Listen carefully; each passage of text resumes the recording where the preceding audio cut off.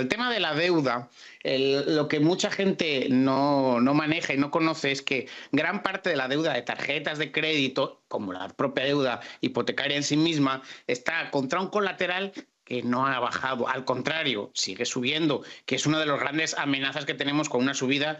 De, vaya, eh, la, principal subida que, tenemos ahora mismo en el, en, el, en el, IPC es el refugio. Y mucho de esas deudas están colateralizadas a eso. Mientras que, ese, mientras que siga subiendo o se mantenga unos niveles altos, el riesgo de llamadas al margen, o sea, de señor, venga a pagar su hipoteca o venga, no pasa. Y en Estados Unidos tú sabes, y lo sabéis perfectamente, que mientras que eh, eso no se produzca, tú te puedes seguir endeudando mm, demasiado, demasiado. El problema está si eso se rompe como se rompió en 2008 qué va a pasar. Mientras que no pase, yo creo que ahí no hay una gran amenaza. La otra puntualización muy leve sobre el tema de que el empleo es de peor calidad, como bien ha dicho eh, Dani, sobre toda la situación que estaba viniendo eh, y que sí se ha descubierto que además de menos empleo es de peor calidad, pero cuando lo vemos en los payroll tampoco hemos visto tanto impacto. O sea, sí es de peor calidad, pero no excesivo.